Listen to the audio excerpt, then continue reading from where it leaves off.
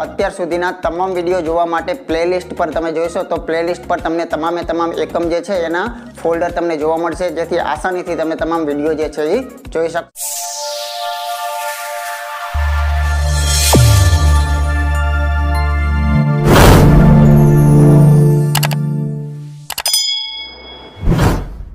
ચાલો મિત્રો એક સરસ મજાનો એવો દાખલો છે કે ઘણી બધી વખત એવું ઘટના બનતી હોય છે કે આપણે ચોર જે છે એ આગળ આગળ જતો હોય છે અને પાછળ એની પાછળ પોલીસ જે છે એ આવતા હોય છે. અને ચોર અને પોલીસની વચ્ચે કાંઈક કેટલુંક અંતર હોય છે કે બસો, ત્રણસો પાંચસો મીટર જેટલું અંતર હોય. અને બંને જે છે એ દોડતા હોય છે એટલે કે બંનેના ખરેખર વેગ, બંનેની ઝડપો આપણને આપવામાં આવે છે. તો આપણને એમ કે હવે જે પોલીસ જે છે એ ખરેખર ચોરને કેટલા સમયની અંદર પકડી લે છે, બરાબર? તો અહીં મિત્રો તમને હું ફરીથી યાદ અપાવું કે આમ તો આપણે શીખેલી જ રીત છે, પરંતુ જો આપણને ફેરવીને જ્યારે પૂછે છે ત્યારે આપણને એમ થાય છે કે આ પ્રકારની રીતે આપણે નથી ભણેલા, બરોબર? બંને ટ્રેનો એક જ દિશામાં જતી હોય, એ જ ઘટના સેમ ટુ સેમ આની અંદર છે, પણ ફેર કેટલો છે? તો કે અહીં ટ્રેનની જગ્યાએ માણસ છે, બરોબર? તો ટ્રેનની જગ્યાએ માણસ હોવાથી ફેરફાર ફક્ત એટલો થશે કે અહીંયા માણસ જે છે એને પહોળાયું નહીં હોય, એટલો ફરક છે. તો ચાલો આપણે એના માટે એક ઉદાહરણ જોઈએ પહેલા તો સૌ પ્રથમ તો. તો અહીં મિત્રો આપણને કહે છે કે એક સિપાઈ જે છે એ ચોરની પાછળ બસો ચાલીસ મીટર દૂર છે, બરોબર? તો આપણે નાનકડા એવા બે ચિત્ર દૂર નાખીએ જેથી કરીને આપણે એકદમ સરળતાથી મુદ્દો સમજાઈ જાય. તો એકદમ નાનકડો એવો મુદ્દો છે અને ખરેખર મોઢે પણ તમે જવાબ આનો આપી શકશો એક વખત શીખ્યા પછીથી.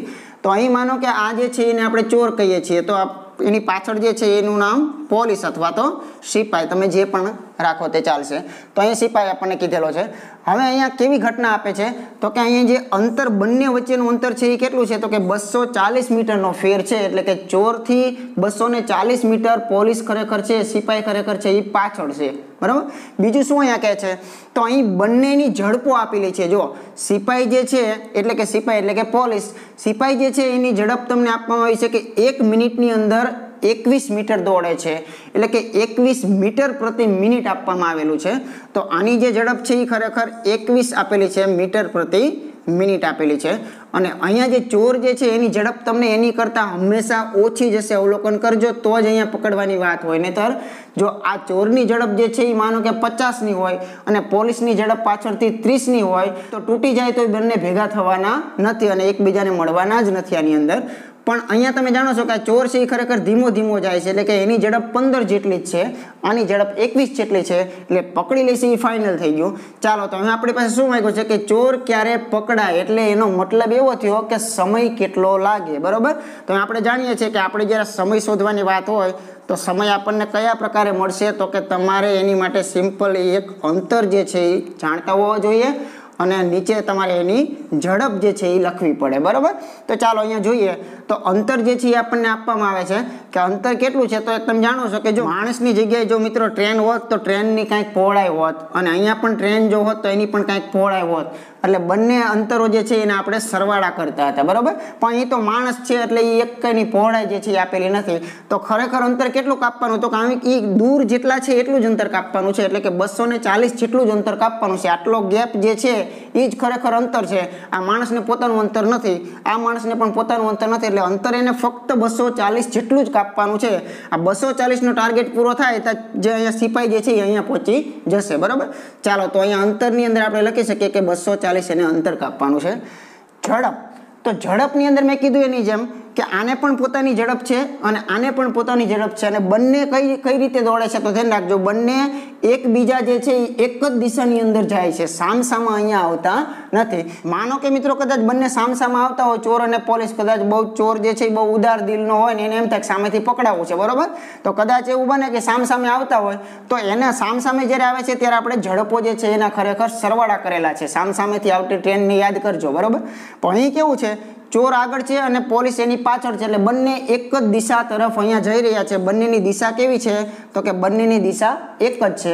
તો જ્યારે બંને એક જ દિશામાં જતા હોય, ત્યારે આપણે એને ક્રોસિંગ માટેનો સમય જે લાવતા હતા, તો એની અંદર શું કરતા હતા? તો એક જ દિશાની અંદર હોય તો બાદ બાકી કરતા હતા ઝડપોની, બરાબર? તો અહીં ઝડપો જે છે એનું ખરેખર શું આવશે? બાદ બાકી કરી નાખશો એટલે તમારો જવાબ જે છે એ આવી જશે. મોટામાંથી નાનું બાદ કરી દેવાનું છે. એટલે કે અહીંયા તમારે એકવીસ જે છે એમાંથી પંદર ઝડપ છે એ બાદ કરી નાખશું. એટલે અંતે અહીંયા કેટલા મળશે? તો કે અહીંયા બસો ને ચાલીસ એમ નામ રાખી દઈશું. અને અહીંયા જે બંનેનો જે બાદ બાકી છે એ આપણે કહી શકીએ છીએ કે એકવીસમાંથી પંદર કાઢશું એટલે આપણને છ મળશે. ચાલો, એકમોને જરાક ચેક કરીએ કે બસો ચાલીસ છે એ ખરેખર શું હતું? તો કે એ મીટર હતું, બસો ચાલીસ. એટલે આ મીટરમાં છે. પછી જે અહીંયા જે તમને ઝડપો આપવામાં આવી છે એ કઈ છે? તો કે એ પણ ઝડપો પણ મીટરની અંદર જ છે. મીટર અને મિનિટ. બરાબર? મીટર અને મિનિટ કમ્પ્લીટ જ છે. તો અહીં મિત્રો ખાસ ધ્યાન રાખવાનું છે કે અહીંયા તમારે છ ચોક ચોવીસ થશે એટલે અહીંયા વચ્ચે તમારી પાસે ફક્ત ચાલીસ અને આ બધા એકમો અત્યારે મિનિટ દર્શાવે છે. સમયની દ્રષ્ટિએ જોઈએ તો મિનિટ દર્શાવે છે. તો આપણે કહી શકીએ કે ચાલીસ મિનિટનો એને સમય લાગશે. તો મિત્રો ખાલી એક લાઇનની અંદર આનો જવાબ આવી જશે. ફક્ત એટલું જ યાદ રાખવાનું હતું આપણે કે બંને વચ્ચે અંતર કેટલું હતું? તો કે બંનેની વચ્ચે બસો ચાલીસ જેટલો ગેપ હતો, એટલે અંતરમાં બસો ચાલીસ આવી ગયા. અને બંનેને ઝડપો છે તો ખાલી દિશા જ જોવાની હતી બંને એક દિશામાં જતા હતા, તો બંનેની ઝડપોની બાદ બાકી એ જવાબ હતો. એટલે મોઢે પણ મિત્રો કેવું હોય તો આનું કહી શકાય કે અંતર કેટલું તો કે બસો ચાલીસ ભાગ્યા. તમારે છેદની અંદર શું લખવું પડશે? તો કે બંનેની ઝડપની બાદ બાકી લખવી પડશે. કેમ કે એક જ દિશા હતી. હવે એકવીસમાંથી પંદર કાઢો એટલે છ, તો તમે આસાનીથી કહી શકો કે બસો ચાલીસ ભાગ્યા છ છે.